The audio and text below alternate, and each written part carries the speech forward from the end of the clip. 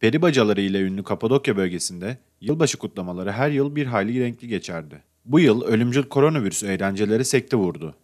Virüsün yayılmasını engellemek amacıyla ülke genelinde 4 gün boyunca sokağa çıkma yasağı getirildi. Nevşehir İl Emniyet Müdürlüğü ekipleri il genelinde vatandaşları eğlenceden ve dışarıdan uzak tutmak için yoğun mesai yaptı. Gördükleri araçları tek tek çeviren polisler sürücülere izin belgesinin olup olmadığını sordu. İzin belgesi olanlar yoluna devam ederken kaçak olarak sokağa çıkanlar cezadan kurtulamadı. Bu uygulamalar pazartesi sabah saat 5'e kadar sürecek. Var mı?